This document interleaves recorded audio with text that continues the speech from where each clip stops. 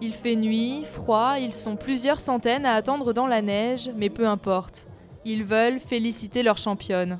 Ce soir, Marion Roland, la petite fille de la station, rentre à la maison avec sa médaille de championne du monde de descente. Je crois qu'on est tous là pour la remercier parce que, au fil des années, elle a toujours été présente et aujourd'hui, c'est la consécration. Il y a eu Marielle Guatchel il y a, je sais pas, il y a 10, 15 ans peut-être, et c'est la même chose aujourd'hui. Bravo Marion, on est fiers de toi. Parmi la foule d'anonymes, des proches de Marion qui l'ont vu grandir et relever les épreuves jusqu'à la consécration. On l'a vu faire ses premiers pas en ski, ses premières glissades. Et maintenant, on est heureux de voir le résultat. Je crois que c'est assez fabuleux pour elle. Euh, c'est quelque part euh, l'aboutissement de, qui récompense des qualités physiques et mentales exceptionnelles. C'est aussi quelque part, euh, même si elle n'admet pas toujours, une revanche pour elle par rapport à Vancouver.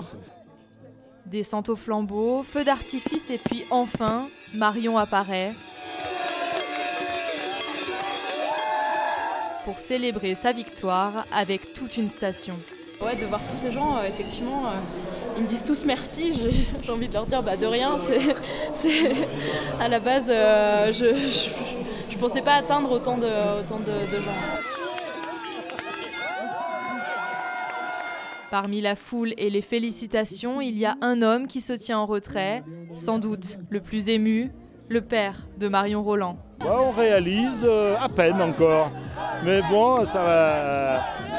Il va falloir s'y faire. Et puis j'espère qu'il y en aura d'autres maintenant. Et la prochaine victoire est peut-être pour bientôt. Ce week-end, Marion sera à Méribel pour la Coupe du Monde de ski alpin.